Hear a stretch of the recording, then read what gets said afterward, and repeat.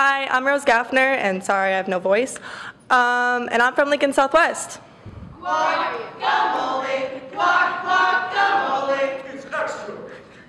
And this is Bean. Trust is a big word, and I think in our case, bigger than usual, since distance is a large factor in our affair. Should I even call our relationship that anymore? Because it feels more like a friendship than ever before. It's been a year, a year of knowing you, six of those months loving you, and this is the first time that you've had to deal with me spiraling into the depths of my own hell. Of college decisions, of grades, of the overwhelmingness of life that hits me at the most inopportune of moments. These are the reasons that I want to believe, but in actuality, it's because of your friends, because of you. We're descending at a rate that I didn't even know was physically possible, whether it be in the forest with no one around or on top of Bart's hospital with the world watching, since this is what comes to mind when I think of us nowadays. What have we become, Bean? Bean, the nickname that I gave you all those months ago. You're Bean, I'm Beeb.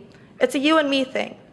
And yet, you are, and yet you are letting your friend rip up the bare threads that have been keeping us together lately as if it's sand.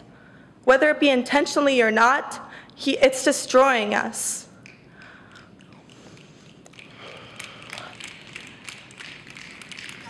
What have we become, Bean?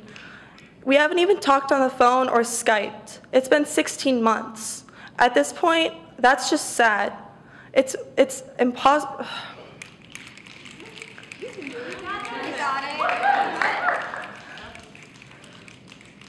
It's sad to think that you don't think that this is important. I just want to hear your voice.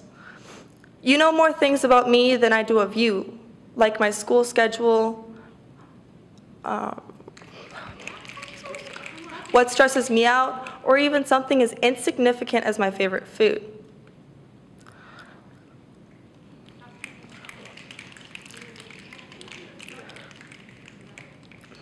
You are seven states, we are seven states away and it has never been farther. That's a 22 hour drive where I can't hold you in my arms to kiss the life out of you.